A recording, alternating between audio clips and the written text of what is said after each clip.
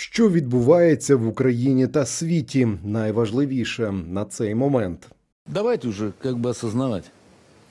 Отечество в опасности. стратегически война проиграна. В том смысле, что те цели амбициозные, которые были заявлены очень громко в начале войны, по уничтожения украинского государства, они уже недостижимы ни при каком сценарии.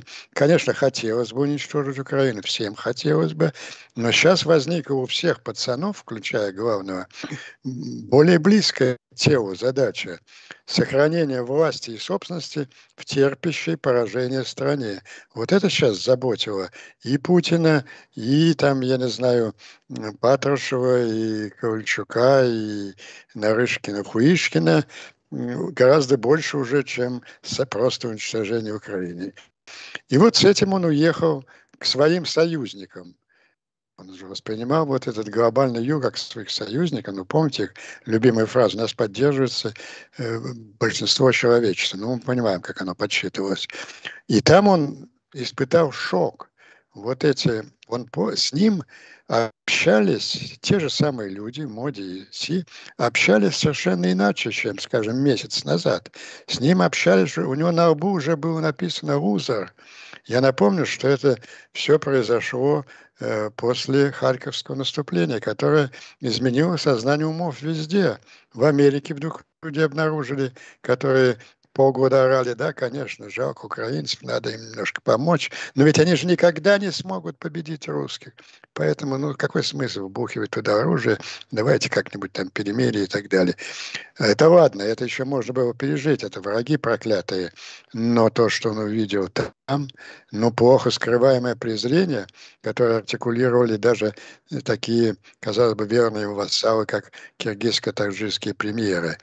Это для него было шоковое ощущение, ну и кроме глубочайшего эмоционального шока, он оказался лузером на социальном дне. Это ему напомнило, практически вся его предыдущая жизнь прошла на социальном дне. В путинской подворотне, в КГБ по пролетарской квоте на низших должностях в Доме культуры э, в Дрездене, а не в Сингапуре и Лондоне. И, наконец, пробочником у, у Собчака. И потом вдруг чудо, невероятной игрой судьбы. Он оказался э, одним из властелинов мира, а тут его опустили обратно. Это громадный психологический шок. Кроме шока, он же все-таки такое очень живучее политика animal, животное. Он понял другое. Он понял, что не только мы с вами, Марк, видели его позор в Самарканде, а бункер весь видел. Ну, бункер, конечно, конечно. Бункер видел. И у бункера возникало это стандартная мысль, что опущенный пахан уже не пахан. И, и вот до 19 апреля они вели с ним общую, общую линию, как-то какие-то жесты доброй воли, как они называют, э, в отношении Запада. И, кстати, согласовали такой громадный жест, показатель их э, очень тяжелого положения, как э, освобождение освобождение мучеников Азова, освобождение приговоренных к смерти британцев. Да, это было реализовано где-то 20-21, но это решено, это все с Эрдоганом, с саудовским принцем согласовано, согласовано, все это было раньше, это было в духе той политики, там уже даже новый Путин не смог это поменять с Эрдоганом, слишком он зависим от Эрдогана. Вот. Но такая ясно было, что для этих пацанов без Путина продолжить эту линию жестов доброй воли гораздо легче. Их поле маневра расширяется. Они как бы подмигали Западу. Ну, мы принесли громадное облегчение человечеству. Мы убрали этого опасного человека, который что-то болтал о ядерном оружии. Так пойдите нам навстречу, дайте нам возможность спасти лицо, достойно вылезти, сохранить там какие-то кусочки территории, чтобы мы не выглядели как бездарно проигравшие и нас не, не снесли. Забегая вперед, скажу, что все эти опасения для них напрасны. Вот когда Путин в понедельник совершил все эти ошибки, я их перечислю, главное из них, конечно, мобилизация. Главное из них, конечно, мобилизация. И он боялся, он понимал, какую социальную проблему. Вы понимаете, какой инструмент он дал этому окружению? Первым декретом этой власти после того, как они э, скажут, что Путин заболел и временно передал, там, будет отмена мобилизации. И у них рейтинг будет 90%. Это, это, это а, отмена нависшего угрозы смерти для 25 миллионов э, потенциально мобилизованных. Схватить-то можешь любого.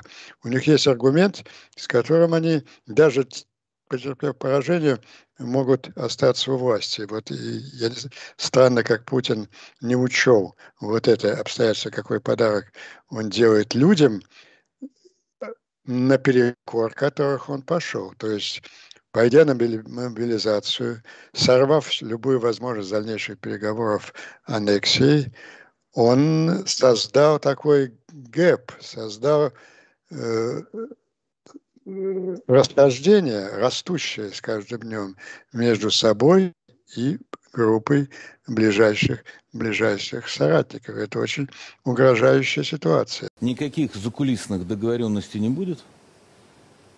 Ну, спочатку варто нагадати, що Німеччина є одним з найбільших донорів збройної допомоги Україні, і зокрема надсилає бронетехніку, наприклад, е, самохідні е, броньовані установки е, гепард, які фактично є легким танком. Але щодо танків, Після того, як навесні українці фактично розбили танковий е, наступ на Київ і відбили е, українські, е, українські військові відбили російську армію також від Чернігова, від інших міст, де росіяни зазнали величезних втрат у західній пресі. Були навіть заголовки про те, що Війна показала, що епоха танків минула, і деякі фахівці стверджували, що ось там Україні потрібно інше озброєння. Джавеліни працюють дуже добре, але Є фахівці, які кажуть, що без танків не обійтися, і українські представники також, наприклад, президент України Володимир Зеленський неодноразово і, зокрема,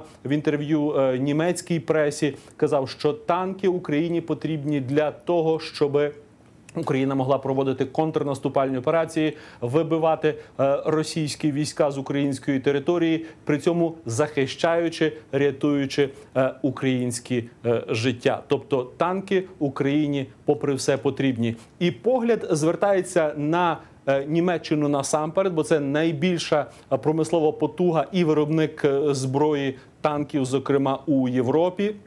Німецькі танки Леопард е, є на озброєнні понад 12 країн у Європі. Є досить великі запаси танків Леопард 1 Леопард 2 у Європі. І віддавна говорять про те, що саме Німеччина мала би е, надати поділитися цими танками е, з Україною, чи дозволити іншим країнам, що мають на озброєнні німецькі танки, це зробити. Але досі німці е, неохочі до цього. Зокрема, канцлер Німеччини Олаф Шольц сказав, що Берлін не хоче бути першим, не хоче робити перший крок до того, як це зроблять е, союзники. Юлі Богдане, якщо не Німеччина буде першою, то хто ще потенційно може надати Україні танки? Про це я розмовляв з низкою фахівців, і е, можливо напівжартома, але досить таки серйозно вони казали, що зараз е, досі найбільшим постачальником танків для України була. Росія, тобто, окрім того, що Україна використовує старі е, значною мірою ще радянського виробництва оновлені в Україні танки, також трофейні танки, зокрема здобуті, дехто каже сотні танків, здобуті під час, е, наприклад, останнього наступу е, у Харківській області, але Поступово Україна переходить на західне озброєння. Це означає, що і амуніція в Україні західна, а отже, і техніка е, також, зрештою, повинна бути в Україні західна. Говорять про е, як ми вже згадали, німецькі танки у Франції. кажуть, що можливо Франція би надала свої е, леклерк бойові, головний бойовий важкий танк, але у розмові з одним з відомих українських е, фахівців, активістів, е, директор фонду Повернися живим, фонду допомоги українській армії і ветеран, до речі, Тарас Шмут сказав, що він прихильник американських танків. І ось, зокрема, уривок з його пояснення. Нам потрібні Абрамси. Наш головний геополітичний союзник Сполучені Штати Америки. Ключові напрямки техніки озброєння, які ми не можемо мати самостійно, тобто створювати самі або в спільній кооперації з кимось зараз, ми маємо обирати з геополітичного вектору. Тут США, так як і з літака. Я не прибічник леопардів, і я вважаю, що США доволі багато нам допомагає, і це було б природньо е, вкладати в подальшому кошти саме в американську економіку, оскільки так чи інакше е, той танк того виробника, який ви отримуєте, ви стаєте від нього залежним по запчастинах, по обслуговуванню, по тех, ну, технічному обслуговуванню ремонту, і будете все одно щось далі купувати. І для розвитку довгострокових стосунків, ну все ж таки, я би обирав США. У Європі зараз говорять про наступний етап допомоги, який мав би полягати у тренуванні навчанні українських військових. Е, Це ініціатива Європейського союзу. В ЄС кажуть, що пора зробити об'єднану програму, яка би навчала, наприклад, у європейській пресі просочилися цифри, можливо, 15 українських військових. І зараз узгоджуються деталі. Але крім того, окремі європейські держави проводять свої е, програми навчання. Тобто французи е, кажуть, що вони хочуть окремо навчати українців, зокрема е, для використання французької зброї е, у Німеччині. І звичайно, не забуваємо дуже велику е, програму, міжнародну програму навчання українських військових у Великій Британії. Програма Інтерфлекс, в якій навчаються тисячі українських військових. Отже, це е, один з важливих європейських внесків. А выглядит на самом деле все очень-очень нерадостно. Підпишіться на канал і не пропускайте нові відео. Пишіть коментарі і діліться з друзями. Ми також будемо вдячні за підтримку нашої роботи на Patreon або інших зручних платформах. Реквізити в описі до відео.